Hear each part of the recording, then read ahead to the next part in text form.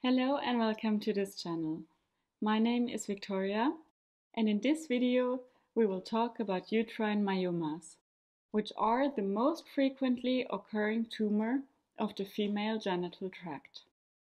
A myoma is a benign tumor, which is formed by the smooth musculature of the uterus. That's also where it gets its name from, myometrium myoma. These benign tumors are hormone sensitive, which means that estrogen accelerates their growth and gonadotropin releasing hormone agonists decelerate their growth. Myomas also are considered to have monoclonal growth, which means that they cause an upregulation of the hormone receptors for estrogen and progesterone. So they basically create a positive feedback loop for themselves. So a little increase in estrogen can cause an even faster growth. Uterine myomas are also called fibroma or leiomyoma. A differentiation between the terms can be made by the content of muscular tissue or connective tissue within the benign tumor.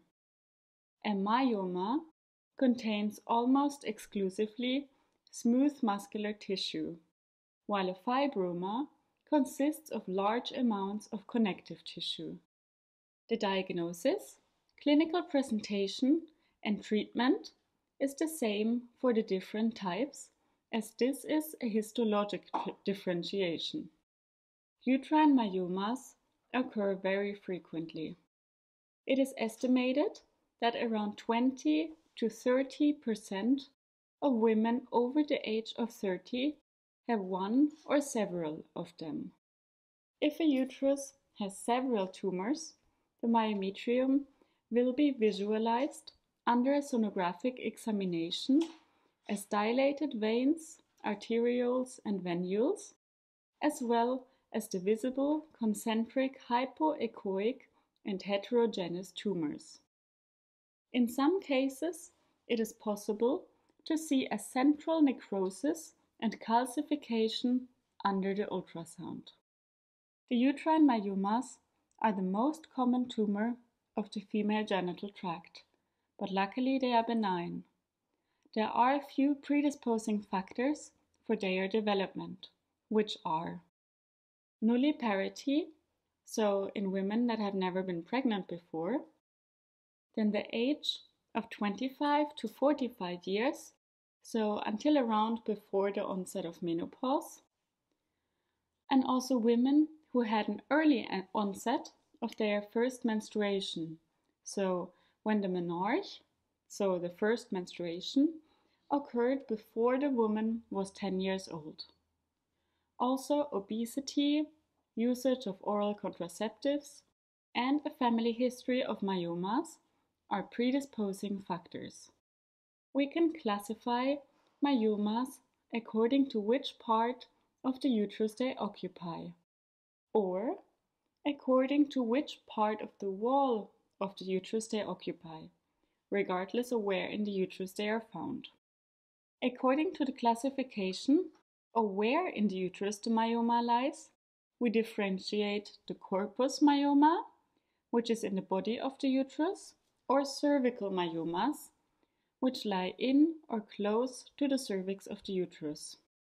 According to the classification of which part of the wall of the uterus the myoma occupies, we differentiate into intramural myoma, so embedded into the myometrium, subserosal myoma, which means it lies directly under the perimetrium, submucous myoma, so just beneath the endometrium, intraligamental myomas, so the myoma lies within a ligament, and pedunculated myomas, so that they basically hang off the uterus, either on the inside or the outside.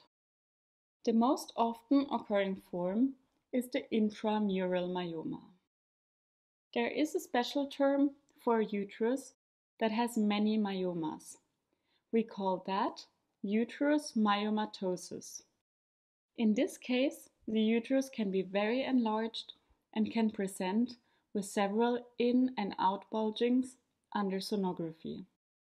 In an histologic examination, we can determine the degree of connective tissue that is present in a myoma. In case of a high content of connective tissue, we call it a fibroleiomyoma or fibroma.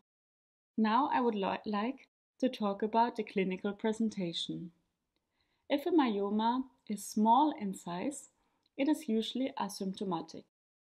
Depending on the number of myomas, the size and their location, it can lead to disorders in menstruation, as the blood flow might be increased or obstructed, and also disorders in micturition and defecation are possible, as the myoma might compress structures of the urogenital or gastrointestinal tract. Due to changes in menstruation, it is also possible for an iron deficiency anemia to occur. So we should check the iron levels in an affected patient regularly. Also back pain, dyspareunia, so pain during intercourse, and a predisposition to develop urinary tract infections is possible. In case of a pedunculated myoma, it is possible for the myoma to twist around the stalk and an infarction of the myoma might occur. In case of several myomas, a patient might experience infertility, or it might be difficult to carry a pregnancy to term. In very rare cases, it has been seen that a myoma can develop into a malignant leiomyosarcoma. A diagnosis is usually done by transvaginal and or transabdominal sonography, the findings of which I have already mentioned earlier. So to recap the sonography, we can usually see an increase in vessel size and diameter and also the vessel number because the myoma has to be supplied with blood. And also we can visualize the actual myoma, in some cases with central necrosis and calcification. Also, an uneven surface of the uterus can be seen, and depending on the size of the myoma or myomas, the uterus might be enlarged. In the next point, I would like to talk about the treatment. The treatment can be either by medication or surgery, depending on the symptoms of the patient and the size, localization, and number of the myomas. In a symptomatic patient, our goal is to relieve the symptoms.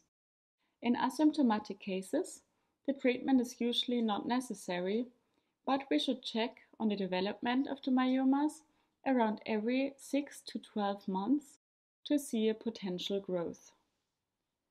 The hormone therapy consists of gonadotropin releasing hormone agonists as leuprolide, goserelin, or nafarelin, as they can stop or slow down the growth of the myomas and also decrease their vascularization. These medications should, however, not be used long term, as they have a lot of side effects, as osteoporosis and possibly depression. GnRH analogues are usually given before a surgery or for up to six months. Some patients are given oral contraceptives as an add on to the GnRH therapy, as it can control the amount of bleeding and pain, but it has to be kept in mind that they induce a more rapid growth of the myoma as they contain estrogen as well as progesterone. The same goes for progestin releasing intrauterine devices, or short IUDs, another form of contraception, as they as well control the bleeding but also those increase the growth rate of the myoma. Other medications that can be used include androgenic agonists as danazol, as those suppress the growth of the myoma. But those also have many side effects, as acne, edema, and hair loss.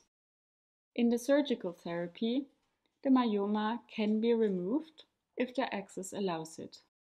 This is called a myomectomy, which is the excision of the subserosal or intramural myoma.